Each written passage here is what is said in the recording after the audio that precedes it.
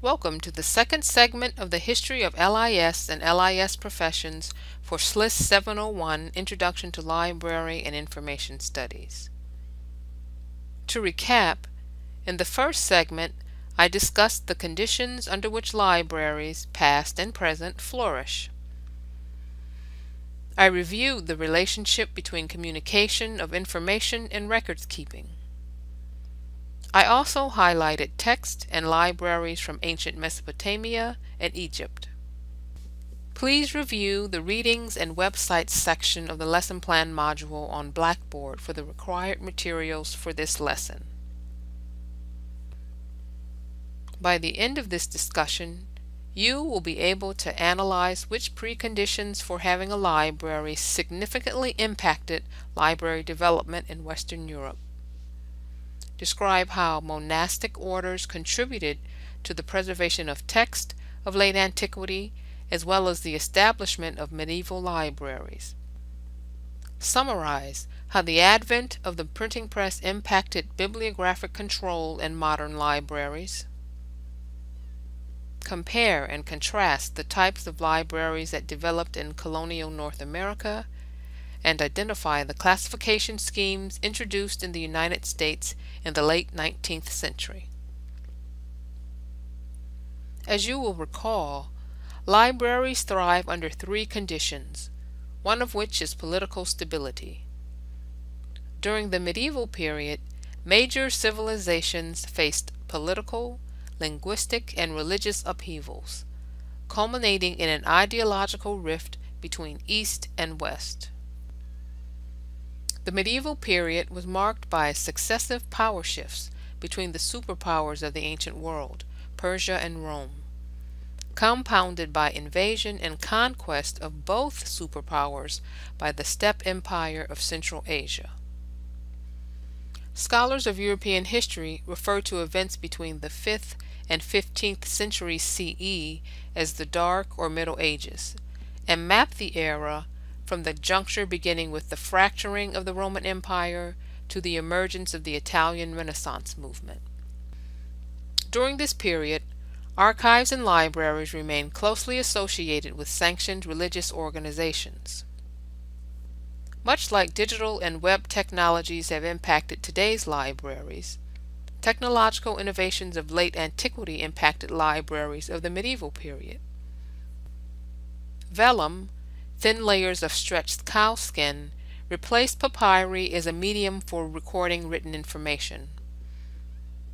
Woodblock printing and papermaking were introduced by China, and manuscript formats shifted from rolls to codices. Monastic libraries have been credited with preserving the written record of antiquity. They were usually attached to monasteries or other religious foundations and primarily functioned to transcribe religious text and produce religious manuscripts. Nalanda, a Buddhist monastery and university in India founded by the Gupta Empire, was renowned for its extensive collections. Scholars from China, Greece, and Persia attended the Learning Center. The library contained religious manuscripts as well as text on astronomy, astrology, grammar, literature, medicine, and philosophy. The outcome of the fall of Rome in 476 CE fractured the Roman Empire, resulting in the collapse of the western counterpart, Western Europe, while the eastern counterpart, Byzantium, remained intact. Church scriptoriums were instrumental to both the flourishing of Byzantine libraries and the establishment of Western European libraries. Byzantium monks are credited with preserving Greek and Roman classics, as well as creating illumination depictions in the Bibles of the Middle Ages. In Western Europe, monasteries were the only institutions with the ability to sustain the necessary conditions for library development. As hermitages, they provided seclusion for Christian refugees beleaguered by the pervading decline within the society. Monastic libraries were small and contained texts collected by monks. Manuscripts were common property, and formed the nucleus of the church library. Texts were added to the collection by scribal monks who carefully copied books borrowed from other collections. Charlemagne was the first monarch to emerge and administer social reforms after the collapse of Western Europe.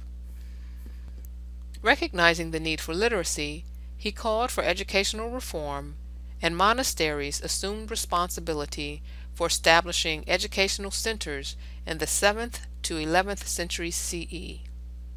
Monastic libraries developed in the region as a result of the service of monks in monastic orders.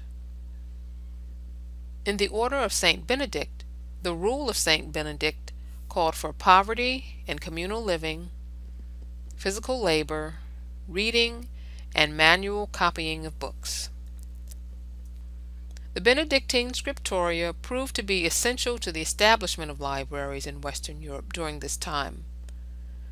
Monks of the Carthusian and Cistercian orders adopted library and reading rules, and Franciscan friars developed libraries for clergy and public use. As libraries were open to users outside of religious or learning centers, chaining systems were implemented as measures for collections management to secure text and prevent theft. Other innovations during the medieval period included the use of the paper mill in the 8th century CE, movable type printing systems in the 11th and 14th centuries CE, and the Gutenberg printing press in the 15th century CE. Libraries have been associated with religious and political authority since antiquity. Libraries of medieval Europe were also connected with the Church and were officially sanctioned by Roman authority, i.e., the Catholic Church. The impact of the printing press on libraries in Europe was closely related to the religious forms taking place at the time. Scribes were no longer needed to produce manuscripts. The church was also losing control over information as religious reformers like Martin Luther were able to quickly spread ideas through the use of pamphlets. By the 16th century, the Parliament of England passed the Suppression of Religious Houses Act, setting in motion the closure and dissolution of many monastic libraries across Europe. Other types of libraries developed during this period as well. Please read your text for more details regarding medieval Islamic libraries, as well as cathedral and university libraries in Western Europe. Book printing had a tremendous impact on book production and libraries of the modern era, and it was a labor-intensive process. Movable type technology had been introduced in the 11th century by the Chinese inventor Bi Sheng. Sheng used ceramic typeset made of baked clay for his printing system. Wang Chen, a Chinese magistrate, improved upon the process in the 14th century by adding a revolving type case and wooden typeset. When German inventor Johann Gutenberg mechanized the movable type system in the 15th century, book publishing was revolutionized in Europe. Publishing houses gained momentum with the introduction of the printing press and helped the spread of books. The advent of printing galvanized book publishing, the rise of publishing houses, and translated into increased library collection sizes and the need for collections management. Library catalogs, publishing, and printing bibliographies became methods for organizing and sharing bibliographic information. Public libraries in the contemporary sense of the term did not emerge until the mid-19th century, but as with all things in life, there were exceptions. The Malatestiana Library was opened in Cesena, Italy in 1454 CE. The UNESCO Memory of the World Register lists it as the last ancient library dating before the invention of printing. Malatesta Novello collaborated with Franciscans to sponsor the library, but entrusted the collection to the commune of Cesena. Novello wanted the library to be a universal, humanistic library open to the public. Chetham's Library was established as a free reference library in Manchester, England in 1653 CE. At the time, it was the only independent place of study in the north of England. Library benefactor Humphrey Chetham wanted the library constructed for the education of the sons of honest, industrious, and painful parents. Chetham's will of 1651 CE bequeathed the library for the use of scholars and others well affected, and instructed the librarian to require nothing of any man that cometh into the house. The library has been in continuous use for over 350 years. Colonial North American libraries were either set up with endowments from English colonists and immigrants or fashioned after organizational methods of England. John Harvard, a dissenting minister from England, immigrated to the Massachusetts Bay Colony. In 1638 CE, he bequeathed his library to a yet-to-be-created college of the colony. The college, once established, took the name of its first benefactor, and Harvard's collections of books seeded the Harvard University Library. Parochial libraries were established in the colonies from 1696 to 1704 CE by Anglican clergyman Thomas Bray. Bray envisioned three types of libraries.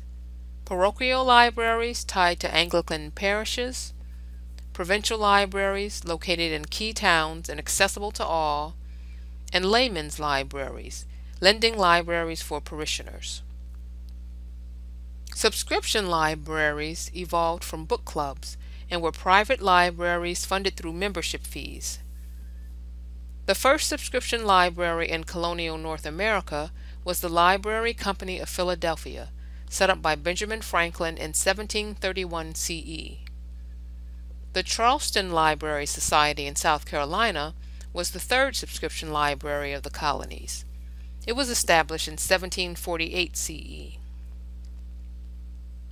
Circulating or rental libraries were operated by booksellers or printing shops. They charged fees for borrowing books. For the remainder of this segment, I will focus on public libraries in the United States and recommend you read the text for information regarding national, academic, and special libraries.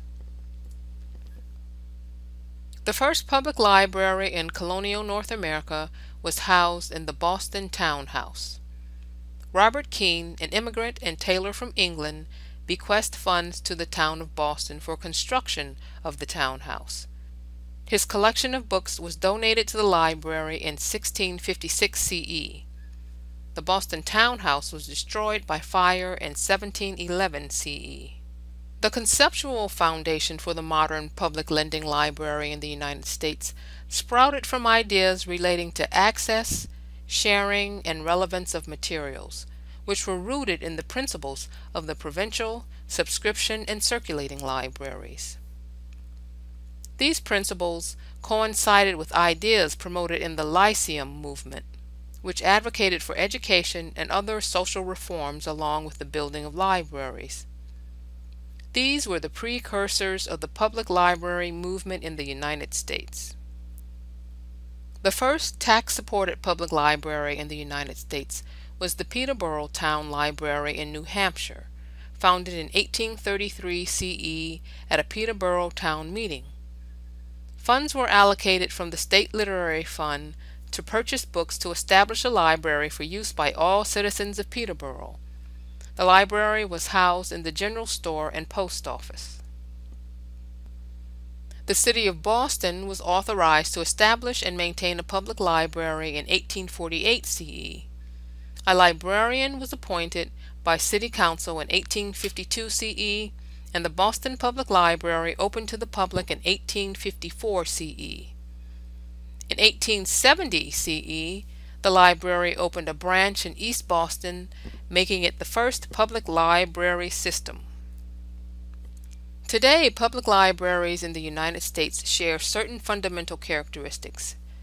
They are supported by tax dollars, governed by a board specifically appointed to serve the public interest, open to all, voluntary, established by state law, and provides services without charge to users. The public library movement began in 1853 CE with the First Librarians' Conference. After the Civil War, the library movement spread rapidly across the country. 1876 CE was a watershed year for libraries and librarianship in the United States. It was the founding year of the American Library Association, and Melvil Dewey introduced the Dewey Decimal Classification System in his publication Classification and Subject Index for Cataloging and Arranging the Books and Pamphlets of a Library. Other milestones included Charles Cutter's introduction of the Cutter Expansive Classification System in 1882 CE, the commissioning of the first Carnegie Library in the United States in 1886 CE, the opening of Columbia College's School of Library Economy in 1887 CE, and the development of the Library of Congress classification schedules in 1897 CE. These and other achievements marked what has been termed the professionalization of librarianship and introduced standardized practices for arranging collections and cataloging materials. The next segment of this module continues with a discussion of the process of professionalization and the making of the contemporary librarian. I suggest you read your text for information regarding medieval Islamic libraries, cathedral and university libraries of Western Europe, and the development of national, academic, and special libraries, as well as review the required materials listed in the Readings and Websites section of the Learning module.